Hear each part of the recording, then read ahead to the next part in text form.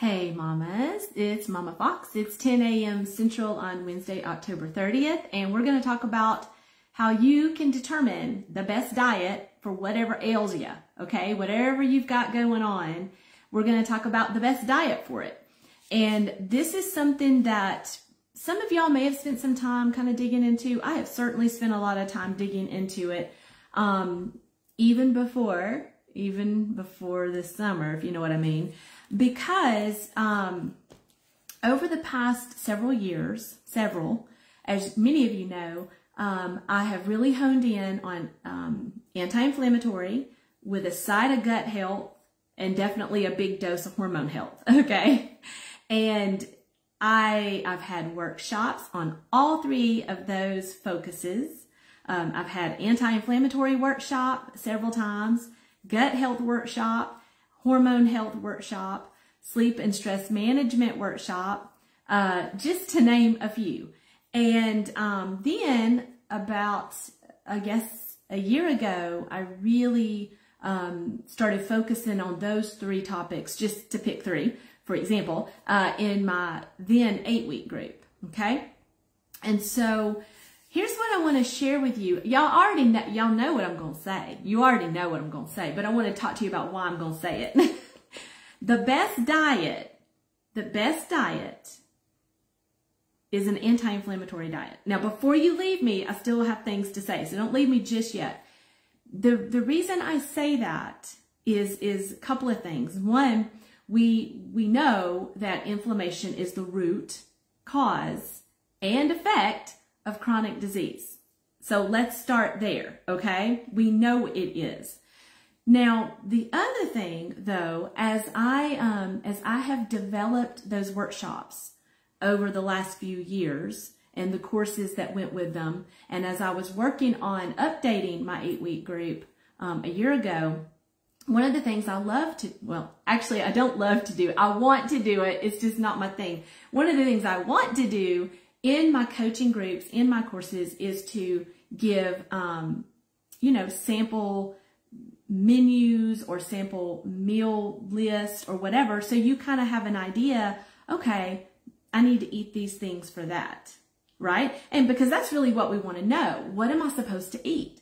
If I have, you know, um, if I have dry skin patches of some sort, there's different things about that. If I have dry skin patches, if my gut is out of whack, if my uh, hormones are out of balance or out of whack, if my cholesterol is not where I want it to be, if I'm gaining weight and don't know why, if I'm wanting to lose weight, if my anxiety is bubbling up out the roof, if I'm having, you know, just kind of dull headaches all the time, whatever ails you, whatever ails you, the bottom line is we want to know, well, what can I do about it?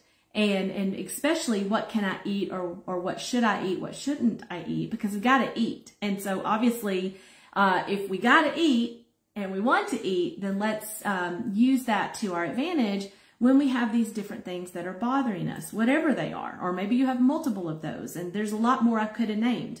Uh, certainly joint pain, uh, fatigue, anything like that. So as I, um, I don't remember, I, I lose track of time, but maybe four years ago, I developed the anti-inflammatory workshop. I can't remember anymore. I'm so sorry. Four or five years ago, I had the anti-inflammatory one, the gut health, the hormone health, and the sleep and stress management. I wanted to give these uh, resources to the mamas taking those workshops, taking those courses, things like that. Certainly in my eight week group, now in the 10 week group, you know, I've always wanted to give those menus and recipe resources. Now, here's the funny thing. Um, you know, I don't want to just, or I didn't want to just give it, give the same one every time. Okay, here's your sample menu. Hey, didn't she give us that in the anti-inflammatory workshop? This is the gut health workshop. Why didn't we get a different one? Wait, this is the hormone health workshop. Why are we getting the same menu from the anti-inflammatory or from the gut health? I didn't want to do that. Okay. Cause I figured there'd be grumbling and I wanted to be able to give more uh, resources anyway. But I want to tell you something. It was actually quite difficult. it was actually cumbersome and difficult to build and create different menus and different recipe resources for those different topics, for those different workshops, it was actually difficult because the food is almost all the same. That's what I want to tell you. That, that if you are grappling with any of those things, or you're wanting to improve your gut health or improve your hormone health or whatever it is, anti-inflammatory.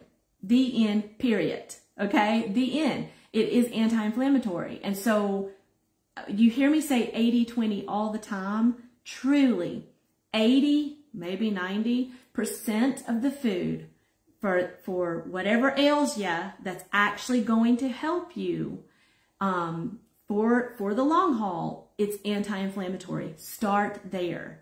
You don't have to keep spinning your wheels trying to figure out, well, what should I eat for this? What should I eat for that? What should I eat for that?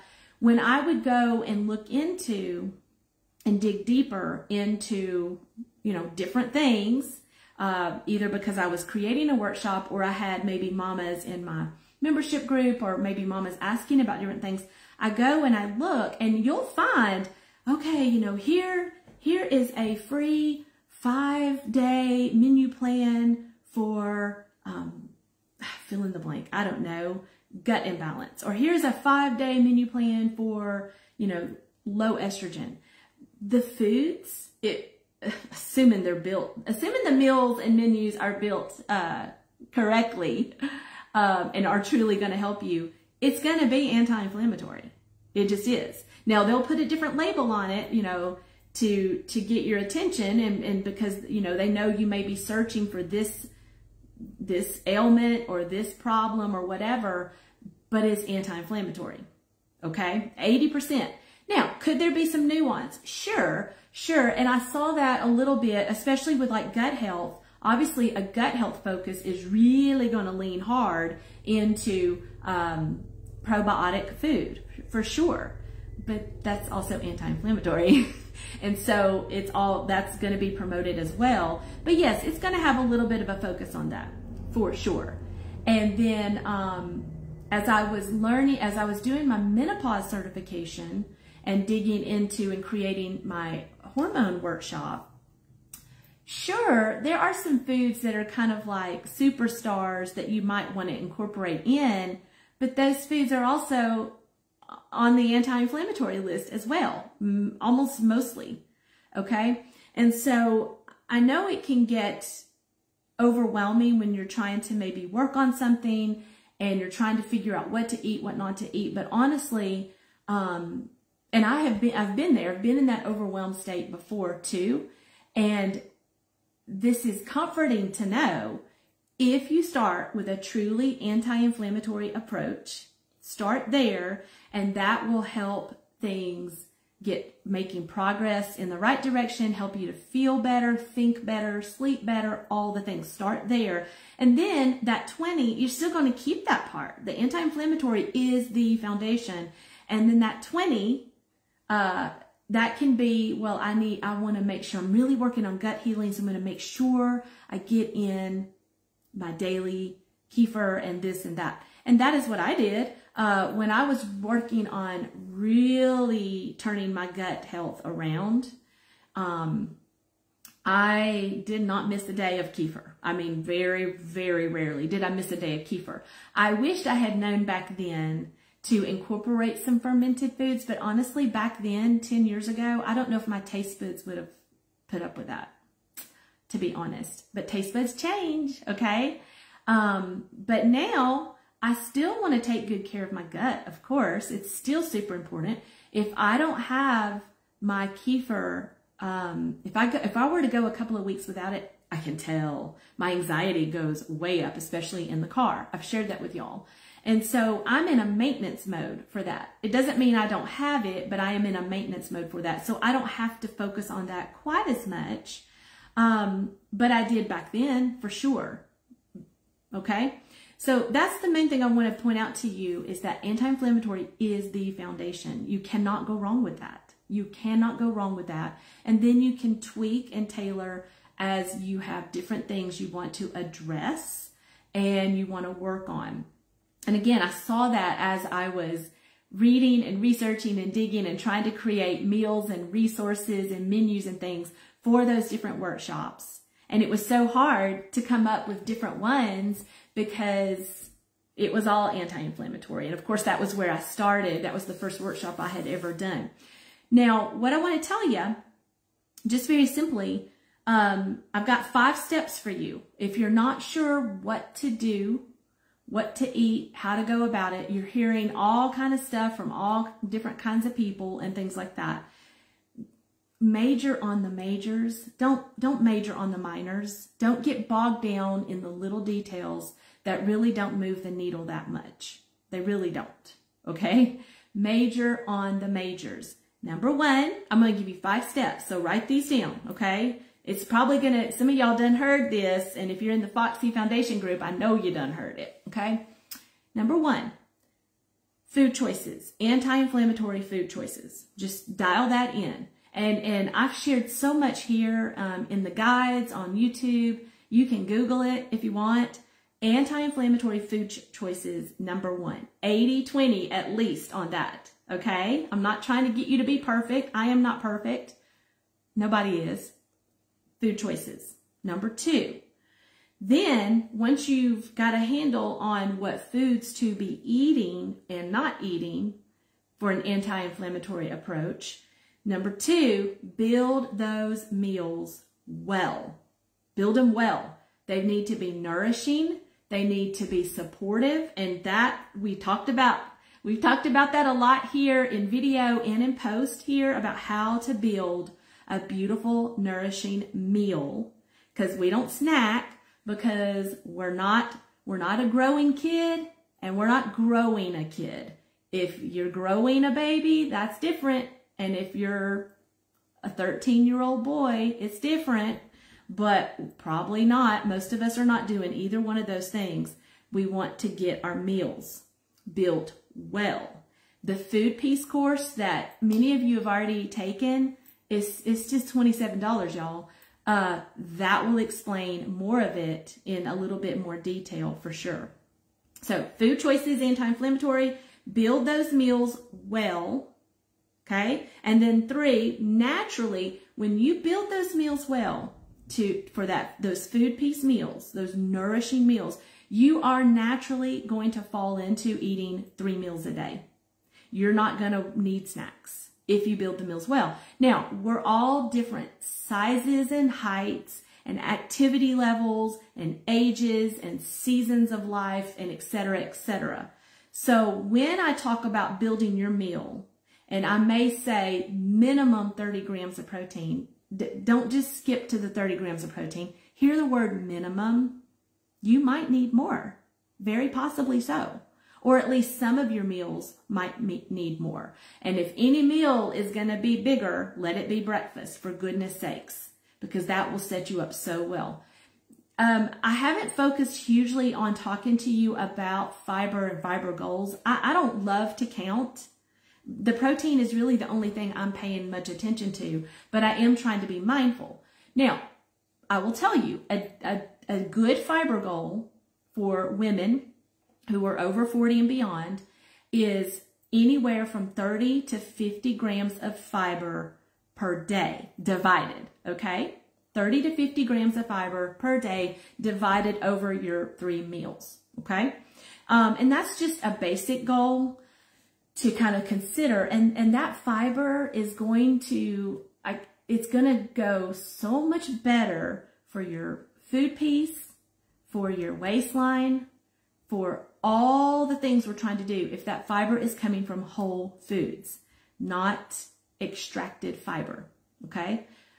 Try to aim for whole foods because it's just going to be more nourishing, more filling. Your body can use it in the ways it needs to be using it and not lead to, you know, constipation, to be honest. So naturally your meals are going to have the veggies, the greens, the protein, healthy fat. Um, if you're going to do any kind of um, carbs that are healthy, you're going to tack them on at the end. Um, and just building those meals, you, you may you I might aim for 10 grams of fiber per meal, but you may need more. You may need 15. I don't know. Um, but I can tell you this, if you're if you're building that meal well and you're not afraid to add some good fat, 20 to 30 grams of fat, okay? 30 grams of, of protein minimum. 10 grams of fiber minimum. So think about it this way, 10, 20, 30. 10 grams of fiber, 20 grams of fat, healthy fat, 30 grams of protein. That's the minimum. You can add more. And if that meal isn't keeping you full and satisfied for at least five hours, roughly, then you need to think about why. It could be that you needed more of something in that meal. It could be that you were using, you know, shortcuts. And I'm not, I'm not saying I don't ever use a shortcut, but like I've shared in the food piece and I've shared here, having a protein shake at breakfast, nah, uh, I don't do that no more. No way. It will not fill me up and keep me satisfied. Uh, not even for four hours. Three if I'm lucky. And those days are over. So be mindful and think about it. Just use that as information. If you've built a meal and you thought that it was nourishing and well built, but you're hungry two or three hours later, then something's up. Something's up and you need to take a look at that um, meal and see what you need to change for next time. Or it could even be as simple as, well, that meal was good and I liked it, but I'm going to have it at lunch next time because, you know, by, by lunchtime, you've got food in your tummy, your blood sugar is more stable and all the things if you've built a really great breakfast. So as I've shared before, if I have a protein shake, which I still like, I'll have it at lunch not breakfast. And it does me fine at lunch. Doesn't do me well at breakfast. Okay. So just think about that. So again, anti-inflammatory food choices, building meals well. That should keep you full and happy and satisfied for about five hours. And we need that five hours at least because we want to really be protective of our insulin. It's not just about glucose, although that's obviously very important. It's also about insulin having doing that, you're going to naturally fall into three meals a day and, and you won't need to snack. On occasion, I want, I, I think I've shared this here before. On occasion, I won't build my um, supper well. Maybe it's because I'm out and I just didn't order enough protein or whatever. Uh, and sure enough, I want to start snacking at night. I'm not actually hungry, but my body knows I didn't give it what it needed. I didn't give it all the things it needed at dinner. And my body's like, okay, we're trying to fill that void that you didn't give us enough of this, that, or the other. You didn't give us enough fiber. You didn't give us enough amino acids and the protein, whatever. So that's why it's so important to really uh, build those meals well. And when it doesn't happen well, when you don't, or maybe you thought you did and it didn't work out, or maybe you kind of knew, well, you know, I think I can fudge here. I had a had a really great breakfast, so I think at dinner I'm just going to listen. Just use that as information, okay? Knowledge is power. Uh, don't beat yourself up about it. I've done the same thing, you know, every a few times a month, every month, and it's just good information. And it also shows me, oh, okay, when I build my meals well, the food piece way, it works. and when I don't, it don't work. Go figure. That's great information, okay?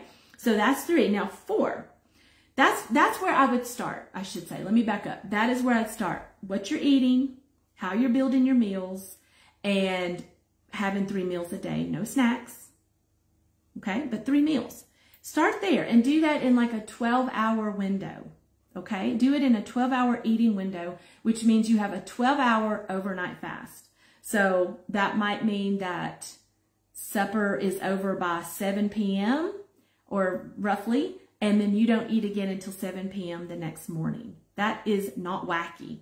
Uh, that's not really even fasting, okay? That's not wacky. That's just smart. Start there because as Dr. Bikman has said, Dr. Fung has said, probably some other people have said, if, if you're grappling with insulin resistance um, and or if especially that, but also if you're not metabolically healthy, if you're, you know, struggling in that area, it is very difficult to, to go longer than that. It's really hard and you kind of set yourself up for problems. Okay. So if you're interested, if you're interested in tightening that up, do it slowly. Start with 12 hours overnight. And then number four, overtime. Do, if y'all have not watched all my video I did a few weeks ago about all the wrong ways to do fasting or time restricted eating, whatever you want to call it, please watch that video after this one's done or watch it soon. Uh, because I see some of y'all making the same mistakes. And I think you're thinking, oh, well, that'll never happen to me. Mama. I do. I see some of y'all doing some of the same things that I'm like, don't do that. Don't do that. You know, danger, danger. Um, and I don't want that for you. I, I, I really don't. And I'm telling you, from my menopause certification, from my sleep and stress management certification, from my own life, can tell you that if you do decide to use the tool of fasting and you just jump into it haphazardly and you start doing longer fast and you're doing it all the time, you're going to have problems with your cortisol at some point. Could be in a month, could be in three months, could be six months. You're going to have problems. Um, and you're not going to enjoy it. it. It really, honestly, really shouldn't be that difficult to um, go 14 hours without um, without eating. It, it, it really shouldn't. But if you've tried that 14, 15, 16 hours, if you've tried that and it was like you felt terrible, um, you were fatigued, you had headaches, um, you really struggled, then that is a pretty good sign. I'm not saying it's a guarantee, but it's a pretty good sign that you're you're you're jumping into it too too fast too soon and your body is not liking it. Okay? It really ought not be that hard. It, not that not that it isn't maybe hard, but what I would suggest is just number 4, over time, as you're eating to nourish your body, you're eating an anti-inflammatory healing way. You're eating your three meals and you're not just shoving food in your mouth in between. Then tighten up that 12 hour window to a 10 hour window over time because that shouldn't be too hard either. So going back to the other example, dinner ends around 7-ish, 7 p.m. at night. A 10 hour eating window would mean you would fast 14 hours overnight. That would put you eating breakfast around 9 a.m. Not too late. Not too late. Um, that is a great way to kind of um, work that fast. I think it's called a fasting muscle, but kind of get used to that idea of tightening up your eating window a bit if you want to. Again, it's a tool. Not everybody has to use the same tools at the same time. If you want to keep a 12 hour eating window and have your three meals a day and that is working well for you, please do. Stay right there. That is fantastic. And just know, you know, you don't have to be so regimented about it. Oh my goodness. Please don't, please don't be regimented and looking at the clock constantly. Can I eat yet? Can I eat yet? Can I eat yet? Please don't do that. Okay. Please we got to learn to eat when we're hungry. When our body is telling us we're truly hungry, that's when we need to eat, not when the clock tells us that it, we are allowed to eat or we can eat. We got to get away from that a little bit too. And so in my own experience over the last few months, doing, um, I guess doing some fasting on occasion, uh, better. And I say that because many days I have three meals in a 10 hour window. But guess what? Sometimes that's my goal, but sometimes um, it's a 12 hour window because I got hungry earlier. Okay. Okay. No big deal. No big deal. Um, sometimes when I wake up, depending on what I ate the day before, my activity level the day before, and how I slept and all those things, sometimes when I wake up, I'm, I'm just, I'm not hungry and I don't get hungry until maybe 10, but that's not every day. Some days I wake up and I'm ready to eat around 7.30. So I do. Uh, sometimes I wake up and I'm not wanting to eat yet, and maybe I don't eat till 10, and I eat a nice, big, nourishing meal, and then I'm not hungry until like maybe 4. So I don't, I don't eat when I'm not hungry anymore. And so I might eat supper at 4 and done for the day, and that might mean that I get two meals that day and some days I get three and sometimes I might eat a little later in the morning and sometimes I might um, cut it off a little sooner at night. The point here is learning. We all have got to learn to list, to allow, that's the thing. We've got to allow our body to give us cues. We've, many of us have silenced our bodies for so long telling it, oh, no, no, no, I have to eat within an hour or two of waking, regardless if I'm hungry. And then I've got to eat every three to four hours after that. We have, we have silenced our body for so long and we've not nourished it well with, with really great, well-built meals that our body, it may take a little while for your body to give you those cues. It's possible, but we need to start listening to those hunger cues and, and knowing, hey, if I'm not hungry, don't eat. It's okay. It's like when you're sick, when you're really sick and um, your body is working on healing and fighting off infection or fighting off disease or whatever it is, and, and you're not hungry, do you force food? I hope not. You might drink some chicken broth. You might sip on some things, but you don't force food when you're sick and your body's telling you not to eat. Um, and same here, we, we need to think about, okay, my body is, my body wants to heal. My body wants to work for me. My body doesn't want to work against me. It's doing all it can to keep me alive and functioning. Um, but we really need to listen to it about when we're hungry. So I'm almost done here. Anti-inflammatory food choices, foundational, building the meals well, nourishing meals, not snacky, not grazing, you're not, you're not a cow. You don't need to graze. You're not growing a kid and you're not a growing kid. We don't need snacks and all that kind of stuff. Um, having those three meals in a 12 hour window minimum, that's where I would start right there. That's the, the first three is where I would start. And, and stay there for however long you need to stay there or want to stay there. That's the foundational three.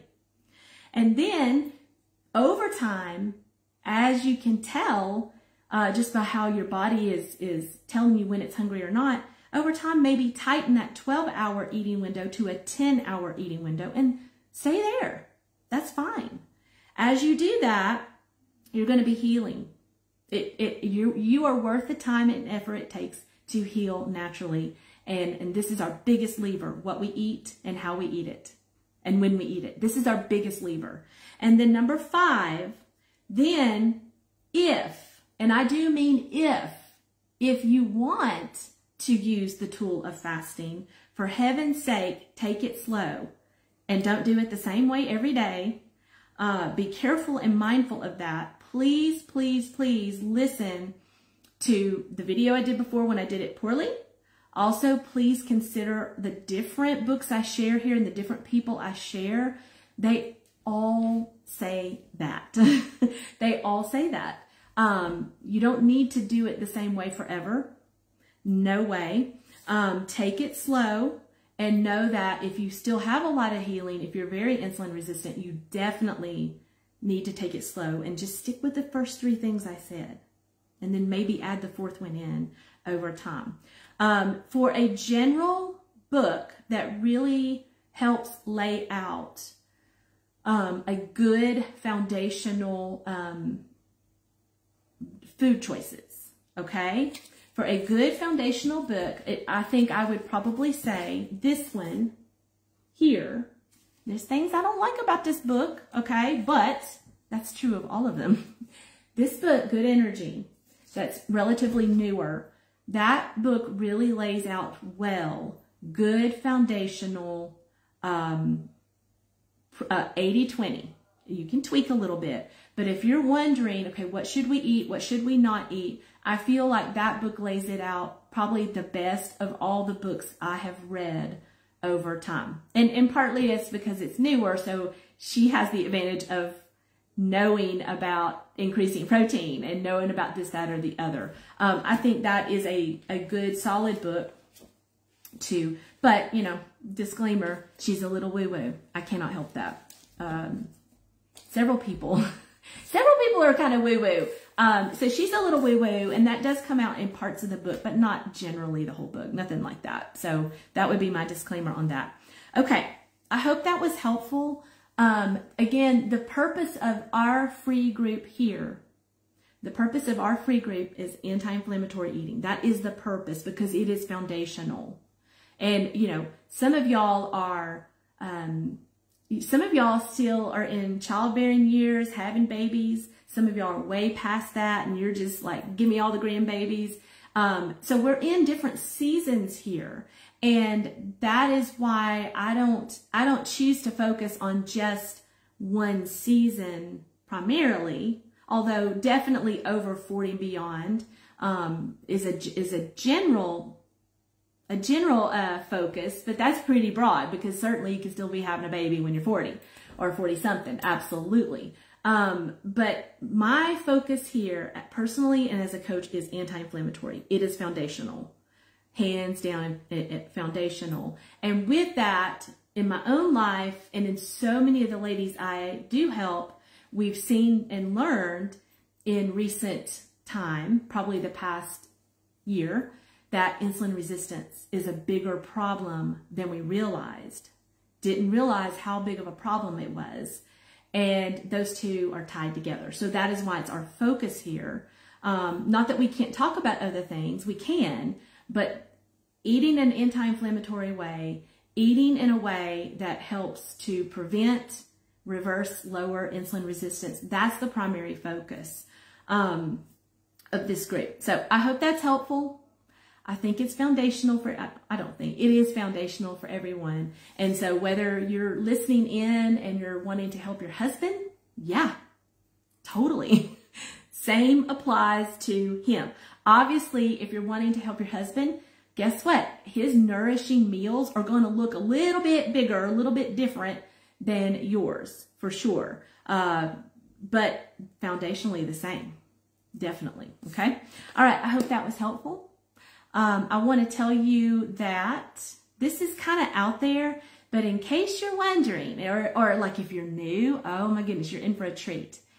We're about to flip the calendar to November. I can't even believe it, and I'm so sad because I love October so much. But December 1st, mark this on your calendar. December 1st, we will do our annual Christmas holiday advent calendar free um, free 12 day event. Now it's it's going to get a little bit of a makeover, just a little bit. But those of you who have been here for a while, you know it's like super fun. It's a big deal. There will be prizes, and this will start December 1st and go through December 12th.